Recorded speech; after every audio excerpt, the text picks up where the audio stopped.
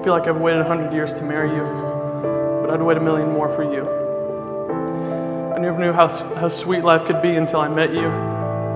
Together we have grown as people and as followers of Christ. You've never failed to point me in the right direction when I felt lost or overwhelmed.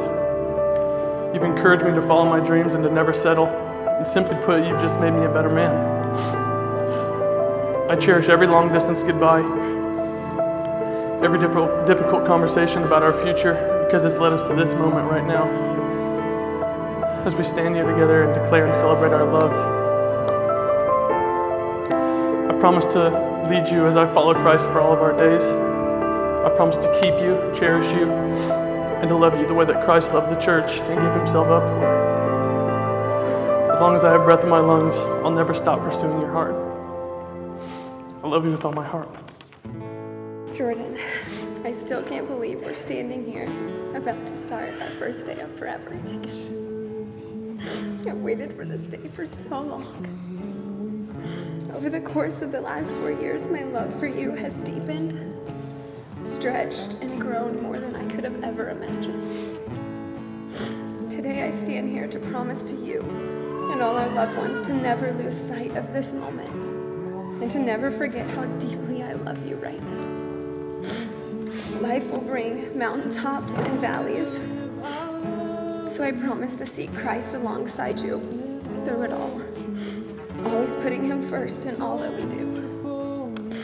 As we change and grow, I promise to always take you as you are and to continue to take you for who you'll become. Even if you are the old man who tells all the same jokes over and over again. Because you will True, be. true. I promise to be faithful to you and you only, to be your biggest encourager and support you in all that you do. I promise to submit to you as the head of our household and as my husband.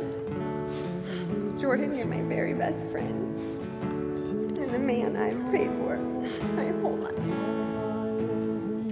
I promise to give myself completely and wholly to you.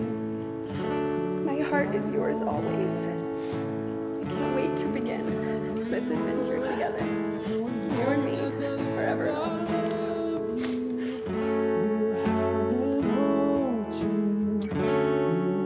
So beautiful in the night.